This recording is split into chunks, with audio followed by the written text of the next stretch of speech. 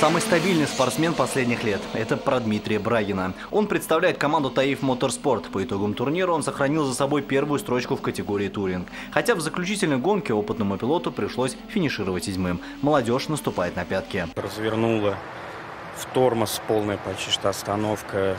Чудом со, со всех сторон меня объехали. Вот, ни, ни единого контакта не было. Вот, потом подъехал уже к лидирующей группе. Вот, но пока боролся, естественно, ушла шина.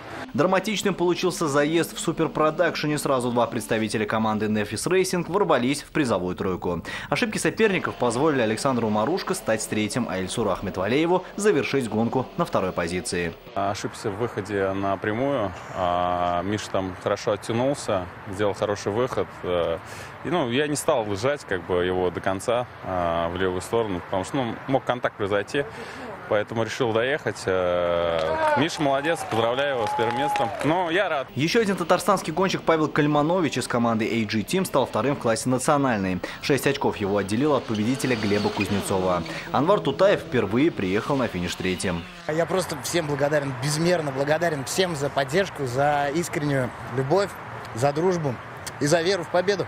Это, конечно, не победа, но у нас еще есть этапы. Следующий этап пройдет на автодроме Казан-Ринг уже после чемпионата мира по футболу 21 и 22 июля. Алмаз Гафиатов, ТНВ, Нижний Новгород.